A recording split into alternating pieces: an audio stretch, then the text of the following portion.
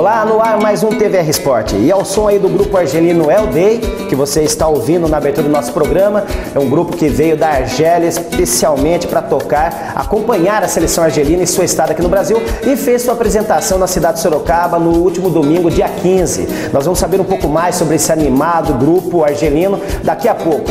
Mas agora nós estamos recebendo aqui a presença de Miriam Zaccarelli, né? A Miriam que é a, a diretora executiva do Comitê Procopa 2014 está aqui para nos falar um pouco desse andamento, da execução desse planejamento. Você que tem acompanhado aqui no TVR Esporte, que a gente já vem tratando da Copa do Mundo desde lá de janeiro. Tivemos aqui dirigentes do Atlético falando da possibilidade da seleção da Argélia vir para cá. Depois recebemos aqui o secretário falando sobre como isso poderia trazer benefícios para a cidade de Sorocaba. E na condução disso tudo, na regência desse envolvimento todo, está a Miriam Zaccarelli. Miriam, seja bem-vinda ao TVR Esporte. Obrigada, é um prazer estar aqui com vocês.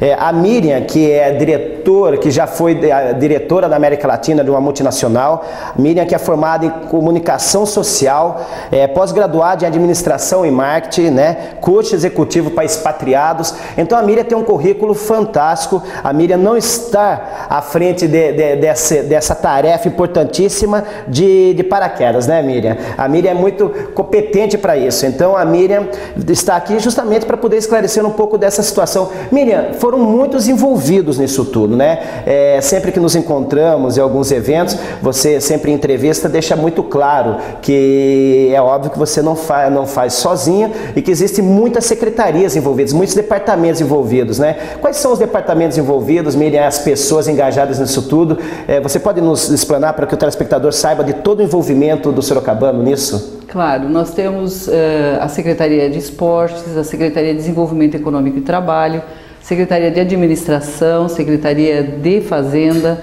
a Secretaria uh, de Cultura uh, e a Secretaria de Negócios Jurídicos, todas as secretarias. Nós temos também representantes do, do CIESP e temos comissões que nos ajudam, né, que são as comissões de Saúde e Segurança, a Comissão de Infraestrutura, a Comissão de Comunicação e Marketing e a Comissão de Instituições e Associações. Então, são 36 membros titulares e ainda tem os suplentes que também ajudam nesta eh, no planejamento estratégico, no, no plano de, de ação e efetivamente na realização disso tudo que a gente está vendo aí. Então, são muitas pessoas envolvidas e muitas pessoas competentes. Muitas pessoas mesmo, Miriam. Eu achava, eu sabia que o, que o time era grande, mas a escalação é maior que a do Filipão. Eu não sabia que era tão extensa assim. E para comandar isso tudo, Miriam, houve harmonia, foi muito difícil é, controlar os ânimos. Primeiro pela empolgação, depois é. até pelas tarefas distribuídas, tudo. Ou todo mundo é, chamou para si a responsabilidade, todo mundo ficou feliz de participar, até, até porque, afinal, é um momento único participar de uma Copa do Mundo. E Sorocaba vive esse momento único, né? É, hoje é muito interessante a gente conversar sobre isso, porque em setembro, quando o comitê foi formado, quando os membros foram indicados em dezembro, as pessoas estavam assim, mas o que nós vamos fazer em Sorocaba? Por que nós estamos participando disso? Mas hoje a gente sabe que foram é, pessoas muito bem escolhidas, pessoas competentes e que nos ajudaram a fazer tudo isso. O presidente do comitê é o, o é, secretário de esportes, né? É o Mocoiabico, Mocoiabico, né? Mocoiabico. E que me deu uh, essa tarefa de coordenar tudo e tenho feito com muito prazer e é muito bom trabalhar com bastante gente competente. Lógico que no início uh, ah, as pessoas às vezes não acreditavam muito, mas a partir do momento que a gente faz um trabalho sério, com bom planejamento, com bom plano de ação, com uh, planos de contingência, se uma coisa não der certo a gente já tinha um plano B.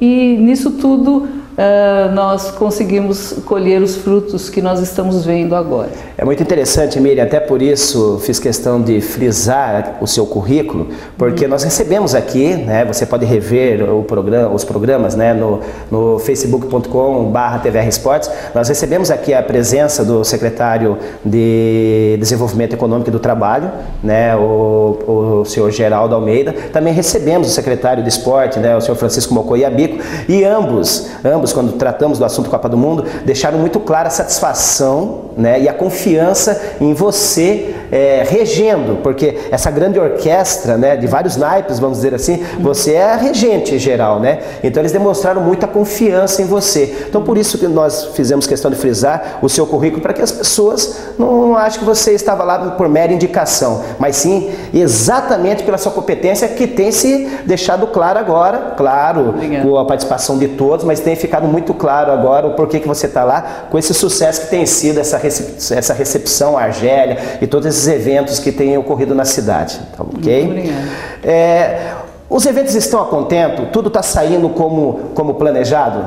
Bom, a primeira conquista foi trazer uma delegação para cá, porque pouquíssimos acreditavam que seria possível, porque das dez delegações que nós recebemos visita, a Argélia decidiu que ia acreditar em Sorocaba, porque todas viram o mesmo plano, que eram algumas coisas virtuais ou às vezes até no papel só, mas acreditou que seria possível e nós estamos aí eh, contemplando agora né, essa, essa alegria todos juntos aí com a Argélia e também tivemos a visita de Itu, uh, da, de Itu, de, de, da delegação do da delegação, Japão. desculpe, do Japão que está em Itu e que também eles ficaram maravilhados com a recepção, com o nosso estádio municipal Walter Ribeiro, que está em perfeito estado, acho que é um dos melhores do interior de São Paulo. Então, tudo isso é, é o legado, não é? Era que eu ia lhe perguntar. Você participou desde lá do início, né? Até reza a lenda dos bastidores que você caçou a laço lá, a delegação, os dirigentes da Argélia,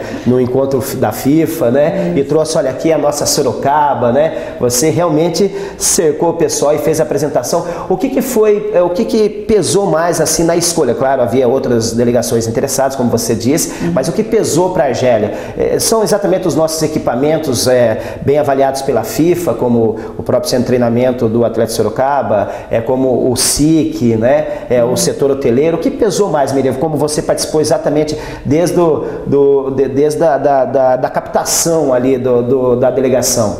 Bom, hoje nós sabemos que nós temos eh, equipamentos que atendem todo o padrão FIFA, mas em dezembro ninguém sabia. Era só estava no papel. Então, eu acredito que esta confiança que eles tiveram na equipe que estava atendendo a delegação em Sorocaba, própria, o próprio comitê eh, paulista né, também acreditou muito em Sorocaba. Eles fizeram várias visitas, eh, nós fizemos um cronograma, atendemos prontamente ao que eles pediam na, é, na, na, data certa, porque isso é muito importante. Você pode ter é um planejamento maravilhoso, mas uh, não, não realizar nas é. datas prometidas. Isso daí nós conseguimos fazer muito bem. Acho que essa conquista que nós fizemos de confiança mesmo. E Sorocaba fez por merecer essa confiança. Exatamente. Miriam, nós vamos sair por um pequeno intervalo e voltamos já no nosso segundo tempo para falar agora sim dos eventos né, que estão acontecendo na cidade de Sorocaba. Continue com a gente, voltamos já. Mais do que segurança, a Atlantis te traz tranquilidade e a confiança que só uma empresa com credibilidade e tecnologia pode oferecer. Através do capital humano e da inovação tecnológica, entregamos as mais completas soluções de acordo com as suas necessidades, sejam elas em segurança patrimonial, pessoal ou em transporte de valores. Fale com a gente, conheça nossa estrutura e saiba mais o que podemos fazer por você. Atlantis, inovação em segurança. Romão Assessoria e Empreendimentos Imobiliários. Uma empresa especializada em vendas diárias para condomínios residenciais, comerciais e industriais, além de administração e locação de imóveis, contando sempre com uma assessoria jurídica própria, que se responsabiliza pela elaboração de contratos, consultas, documentações e orientação a seus clientes. Romão Assessoria e Empreendimentos Imobiliários uma assessoria diferenciada que leva a você grandes oportunidades de negócios. Condomínio Praça Maior, Bloco São Paulo, Conjunto 105. Telefone 15 3388 7006. Olá, estamos de volta com o seu TVR Esporte. Agora aqui no nosso segundo tempo, para você que chegou agora, nós estamos aqui contando com a honrosa presença de Miriam Zaccarelli. Miriam que é a coordenadora executiva do Comitê Procopa 2014 aqui para a cidade de Sorocaba, falando desses acontecimentos né, que está ocorrendo na cidade de Sorocaba e por motivo da delegação da Argélia estar aqui na nossa cidade e Sorocaba viver esse momento único, faça parte dessa história, entendeu? Marque de forma positiva essa história que é participar de uma Copa do Mundo aqui no Brasil. Miriam, é, a cidade de Sorocaba, os eventos começaram lá atrás, quando chegou a delegação da Argélia aqui, é isso? Como foi a organização para receber a delegação? Bom, é uma pergunta super interessante, porque nós tínhamos cinco minutos dado pela FIFA para receber. Tudo isso é pautado pela FIFA. Exatamente. Pra, primeiro que nós precisávamos da aprovação da delegação, porque os jogadores chegaram cansados, eles fizeram um voo muito eh, de muitas horas, então não é justo que chegue e fique numa festa. Então nós tínhamos que fazer tudo para dar certinho em cinco minutos. Então nós contamos com a, a nossa maravilhosa banda marcial, que é, é, a Secretaria da Educação envolvida aí, desenvolvida aí. É, um grupo de crianças que estavam é, assim muito ansiosos para fazer uma apresentação. Eles entraram em contato com a gente muitas vezes e eles sonhavam que estariam recebendo a, a delegação e nós compusemos essa, essa recepção com a banda, com as meninas do malabarismo e as crianças. Em cinco minutos conseguimos fazer tudo, ainda conseguimos tirar ali uns dois minutinhos do, do técnico, do coach, do uhum. assistente para dançar o samba, porque foi tocada Aquarela do Brasil. Então foi muito bacana, muito bacana. Já, já integrando eles Exatamente. à cultura brasileira. Exatamente, eles se sentiram acolhidos. Fantástico, Miriam. É, até por isso a gente tem visto é. que eles estão muito satisfeitos né, com, com, com, essa acolhida do Sorocaba, do uhum. sorocabano. É, também está tá acontecendo na cidade de Sorocaba, até para que para o nosso telespectador saiba, aquele que ainda não está é, não tá sabendo disso, é, está uma exposição sobre futebol, história de futebol também no Max, né, na cidade de Sorocaba. Vocês também participaram disso, da elaboração disso? O Comitê ah, Procopa participou disso? Sim, nós conseguimos, através da Secretaria de Turismo do Estado de São Paulo e o Comitê Local da Copa em São Paulo, o Comitê Paulista, é, a doação de três peças: uma chuteira, um mapa do Estado de São Paulo e uma bola.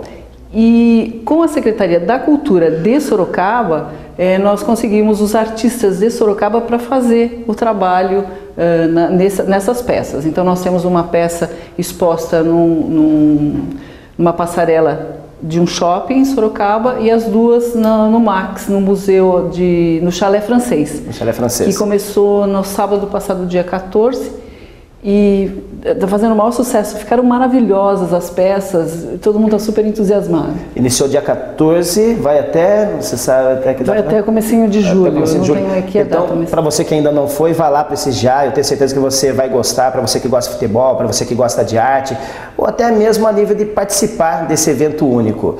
É, Miriam, também tivemos no último domingo, dia 15, nós começamos o programa ao som gostoso, contagiante desse grupo argelino El Day, que é um grupo né, que faz muito sucesso né, é, no seu país, é um dos primeiros lugares na parada do seu país.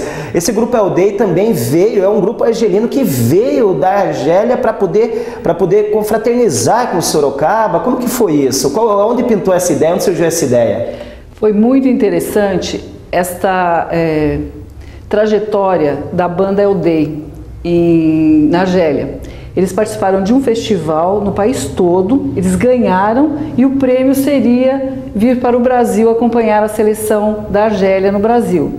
E, mas assim, eles são muito alegres, muito competentes, muito, você muito. teve a oportunidade de ver, é, são jovens realmente que é, estão fazendo muito sucesso na Argélia e tiveram muita satisfação ontem de, de, participar, de ver como é que o público interagiu e essa era a, esse era o propósito de interagir a música uh, argelina com a música brasileira. Nós tivemos o Madia que uh, né, através da, da, Secretaria também de Cultura que promove o, o Viva Praça. É, então foi um sucesso total. Nós até vamos ver agora, Miriam, um, uma apresentação. Então, é, alguns dirigentes, alguns participantes. Quem estava lá? Tem envolvimento do consulado? Argelina? Embaixada. Da Embaixada, embaixada Argelina. Exatamente, a embaixada que trouxe né, os jovens e que está acompanhando, ah, agora vai para Belo Horizonte, Porto Alegre e Curitiba, mas Sorocaba foi a primeira apresentação deles, o primeiro contato deles com o Brasil, com os brasileiros, né, e foram muito bem recebidos em Sorocaba E eles muito também. alegres mesmo, não só a banda em si, mas até o, o empresário da banda que dançou, é, membros né, da, da, da, da, embaixada. da, embaixada. que também dançou lá ao som do grupo. Você vai ver aí no vídeo, vamos ver um, um pouco dessa apresentação da banda El Day.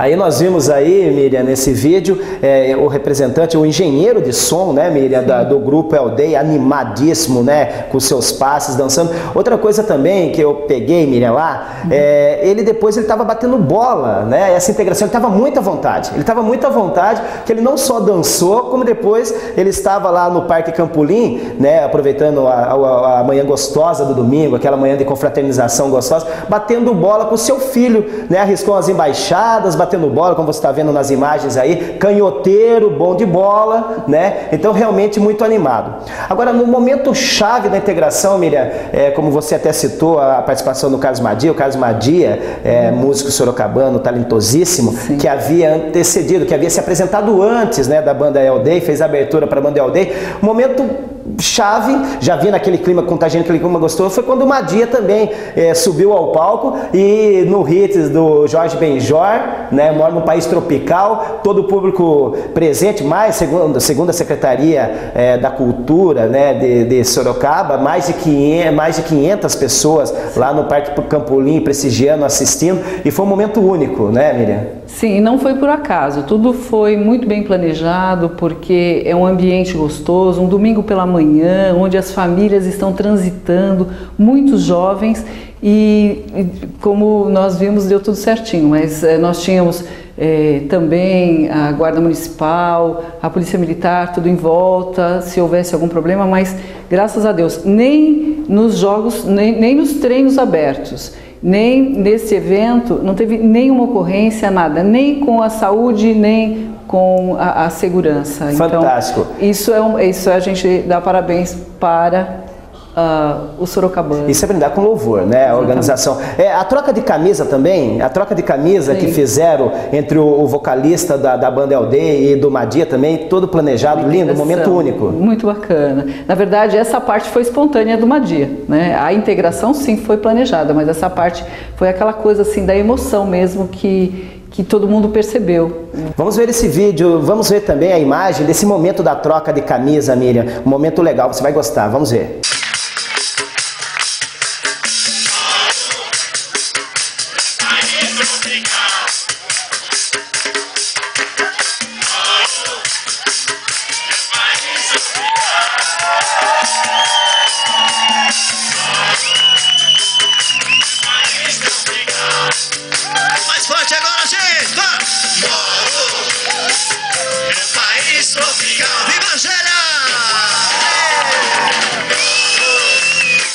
Acabamos de ver o vídeo, Miriam, você viu realmente um momento único, o povo participando, muito bonito, né? É fantástico. Miriam, eu quero agradecer a sua presença. Eu quero mais uma vez é, parabenizá-la é, por, por todo por orquestrar toda essa equipe que nós vimos aí, que é uma equipe grande, envolvida, a todos os engajados, os parabéns do TVR Esporte, a todos os envolvidos, parabéns, a população que tem participado né, de forma também carinhosa com os argelinos, dando demonstração do quanto o Sorocaba é um público educado, um público receptivo, né, somos pessoas, é, é, pessoas, os bons brasileiros. Então eu quero mais uma vez lhe cumprimentar, dar os parabéns a você, a toda a sua equipe, leve os nossos cumprimentos a toda a sua equipe. E e dizer que o TVR Esporte é, está aberto a, a, a, todos vocês da Secretaria de Desenvolvimento Econômico. Okay, muito obrigado a vocês pela oportunidade de mostrar para o público um pouquinho do trabalho que tem sido feito e agradecer a todos por esse envolvimento, por essa participação e vamos em frente, temos aí mais alguns dias pela frente. É isso aí. Então você que assistiu aqui a, a, a entrevista de Miriam Zaccarelli, né, diretora executiva do Comitê Organizador Procopa 2014, e pôde saber um pouco mais dessa coisa gostosa que está rolando na cidade de Sorocaba, participe. Você que ainda não participou, não participou do evento, vá lá ao Max, participe mais, continue recebendo bem os turistas, faça a sua parte, deixe, o Sorocaba, deixe a cidade de Sorocaba ainda mais orgulhosa de você. Bom, vamos sair para o intervalo e no terceiro tempo voltaremos para falar aí dos jogos da Copa do Mundo. Continue com a gente, não saia daí. Bidu Casa e Acabamento, uma loja completa que oferece uma variedade de produtos para o acabamento de sua construção, dando margem para a criação de ambientes que vão do clássico ao contemporâneo. Faça uma visita e conheça um conceito diferente em loja de pisos e revestimentos. Avenida Doutor Afonso Vergueiro, 2980, telefone 3217 9790. Em breve, nova loja, em frente ao Hipermercado Extra Santa Rosária. O Fogão Mineiro Restaurante e Pizzaria oferece os mais saborosos e variados tipos de pratos, trazendo a Sorocaba a tradição da comida mineira. Além do tradicional sabor mineiro, você vai encontrar um delicioso buffet self-service à vontade ou self-service por quilo, composto por diversas opções de saladas, pratos quentes, além, é claro, de massas, molhos e sobremesas. Venha apreciar o melhor sabor e qualidade dos nossos produtos. Avenida General Carneiro, 837. Estamos de volta com o terceiro tempo e agora falando de Copa do Mundo de Brazuca rolando, é claro, aqui no nosso Bate Brazuca com o Luizinho Costa, nosso comentarista. Tudo bem, Luizinho? Tudo bem, tudo bem. Assistiu muitos jogos no final de semana? Todos. Estou, eu, quando eu levanto, meu sofá vem comigo. não perde um. Não perco um jogo. Tá certo. Luizinho, vamos começar falando o Japão. O Japão que é o time que está hospedado aqui na nossa cidade vizinha, na cidade de Itu, fez um treino aberto na cidade de Sorocaba. O Japão não estreou muito bem. Começou até bem, mas depois sofreu sofreu o revés e perdeu para a Costa do Marfim, né? É, começou... Honda fez sua parte, mas onde pecou? Não, começou bem. Fez um primeiro tempo bom a seleção japonesa. Mas depois que a entrada do Drogba, parece que se assustaram. Ah, tá entrando o homem aí. E aí não foi a, a, a, não apresentou o futebol que apresentou no primeiro tempo. É isso aí, então, mas o Japão tem futebol, apresentou futebol diferenciado. É, tem, tem. É para terminar só a primeira fase, porque eu não. Acho que não, ganha da Grécia? Eu, eu, não acredito que vai passar de fase, não. Ganha da Grécia? Tem, tem condições de ganhar. Tem condições de ganhar da Grécia. Tá. Honduras. Honduras também, que está em Porto Feliz, aqui na nossa vizinha cidade de Porto Feliz, também estreou com derrota, mas tudo bem que Honduras perdeu para a França, poxa, perdeu num placar meio elástico, 4 a 0 e aí o, o, o perdeu para a França. O que, que você achou da apresentação Perdeu para a França e perderia para qualquer seleção. Muito ruim, muito fraco, não sei o que, que esconde. Treinamento fechado, mas, mas esconder o quê? Não tem nada Honduras. Decepção total, muita falta, jogaram é, no limite muita falta, jogador expulso. Não, não, nota zero. Na minha concepção, nota zero para a seleção de, então, Honduras, de Honduras. Não, não, nada. Condições. Já vai pegar o, a passagem de volta para Honduras. Benzema é o nome da França? Ah, também contra Honduras, meu irmão. Até eu faria cinco gols se me deixar. então isso não, não, é o nome. Não, não, serve de parâmetro. Não, serve. serve de parâmetro. Não, não serve. Tá. É, Espanha e Holanda. Professor Luizinho, a Espanha não chegou, não, não desembarcou no Brasil ainda? Não, que, desem, que desembarcou, desembarcou e pegou uma Holanda jogando como a Holanda de 74. Olho, que se jogar desse jeito, tá pintando aí o primeiro finalista. Se jogar desse jeito, continuar jogando, porque eu que vi todas as Holandas, 74, 78, Sinceramente, essa se aproximou e muito do grande carrossel holandês. Do grande carrossel holandês. Agora a Holanda fez um bonito futebol. Bonito futebol, jogando em alta. Surpreendeu. É a Copa da Intensidade, Rogério. Aquele que não jogar com intensidade não vai fazer bom papel intensidade, velocidade, muita saída rápida para contra-ataque, entendeu? Eu gostei demais da Holanda e da Costa Rica até esse momento. E o Chile? Chile, primeiro tempo, muito bom. Segundo tempo, caiu na realidade o que é o verdadeiro Chile. Também acho que não vai passar. Para mim, eu acho que passa Espanha e, e, Holanda. Ok, ok. Agora vamos falar, não poderíamos deixar aqui de falar, é claro, da vitória da Bósnia sobre a Argentina. Opa, ah, não, quer opa. dizer, opa, não. É que na minha concepção a Bósnia ganhou da Argentina, fez dois Ah, gols. bom, né? Mas certeza. infelizmente foi um contra e a placar da Argentina foi 2 a 1 na Bósnia. O que, que você me fala disso, A Luizinho? Bósnia, a Bósnia é aquele futebol iugoslavo, é um bom time, sabe jogar, joga bem a Bósnia. Primeira participação em Copa do Mundo. Joga bem a Bósnia, aquele futebol tradicional do Yugoslavo. É uma pena que aquele gol, com um minuto, dois minutos, o gol contra. Mas eu gostei da participação da Bósnia e esperava muito mais da Argentina. A Argentina, meu amigo, qualquer jogou ontem, não bota medo. E se o Messi fosse um jogador e qualquer, ele teria sido substituído no intervalo, porque não jogou nada no primeiro tempo. E aí fez aquele gol que quando o Messi encarrera para vir para cima, ainda tem aqueles adversários que vai combatê-lo, pô. Fica esperando, ele vai trombar com a gente. Agora vai para tomar o drible. Teve lá uma videocacetada, um zagueiro tropeçou no outro, caíram, aí ele só colocou, né, ali no, no- no pé da trave, ali, a trave não tem pé, mas colocou ali na, na trave direita. Mas é, é esse desespero, quando o Messi pega na bola, fica um desespero. Calma, fecha bem ali na entrada e deixa ele vir. Não, não dá o bote. Se dá o bote, vai ser driblado bem. Facilita, né? E o futebol no Messi não é muito. O Messi anda inova mal. Aliás, o Messi, o Messi em campo parecia que ele está desgostoso com a vida, um cara que não sorri, um cara que não é carismático. Não vou falar que não é um grande jogador? Claro que é, seria um animal se eu falasse diferente. Mas é um cara que parece que está, sei lá, não vibra, não sente o jogo. O que será que acontece com ele, hein? Eu acho que ele joga ouvindo tango, né? Deve, ouvir, Agora- deve jogar ouvindo. é, Deve jogar ouvindo, né? O bonito- É, deve, deve jogar ouvindo Astor Piazzolla. Eu quero que fique claro que no programa passado eu falei que eu gosto, que eu gosto De Astor só de bife Piazzolla. de chorizo, mas eu também gosto de Astor Piazzolla, tá? Opa. Então eu acho que ele joga né, é, ao som lúgubre, né? Ao som lúgubre do, do Astor Piazzolla, porque tipo. O bonito né? do jogo também foi a briga das torcidas, né? Na briga no bom sentido. É, O, o brasileiro com o argentino. Tava- tava- foi, foi um espetáculo legal, legal mesmo. Mas eu torci muito pra Bósnia. Ali, Bósnia. Ali Bósnia, eu também torci muito para a Bósnia e vou continuar torcendo qualquer time que venha enfrentar a Argentina. Bom, Luizinho, ficamos por aqui, né? E no próximo programa vamos comentar mais um pouco, esperamos conectar um pouco mais a Argentina. Com certeza. Até o próximo. É isso aí, espero que você tenha gostado. O TVR Sport fica por aqui. Espero você no próximo programa. Até lá.